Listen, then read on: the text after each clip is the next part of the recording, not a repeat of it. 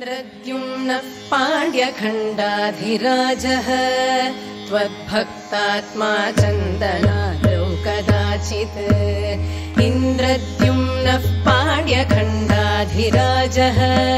त्वद्भक्तात्मा चन्दनादौ कदाचित्